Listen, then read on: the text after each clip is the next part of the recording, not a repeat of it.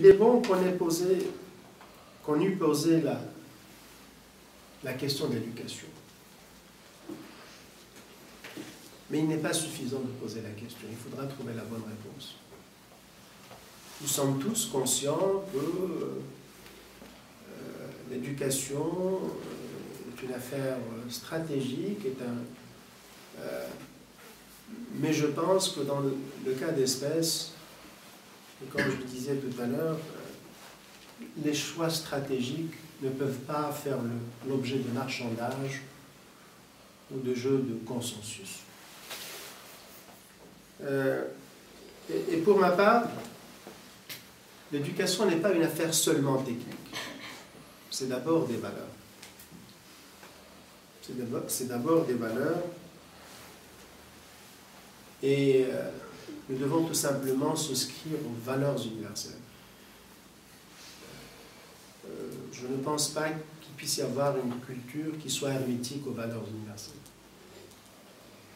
Et il est, à mon humble avis, fondamental d'imprimer ces valeurs au bas, au bas âge, à l'école, et peut-être au-delà dans les officines les partis politiques, la société civile, etc.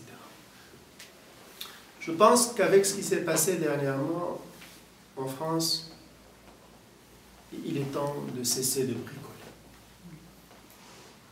Il est temps de il faut tout simplement adhérer aux valeurs universelles, celles de la raison, celles de la liberté.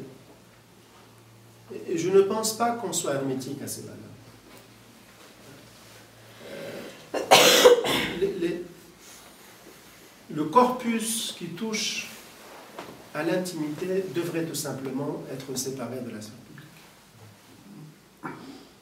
je pense qu'on ne peut pas faire euh, l'économie de cette, de cette euh, révolution ou de cette évolution. il y a de ça dix ans, depuis les attaques du 16 mai, l'État marocain s'est lancé dans un travail de restructuration des champs religieux. Personnellement, je reste sceptique sur finalement les résultats. Et je pense que il faut être clair là-dessus.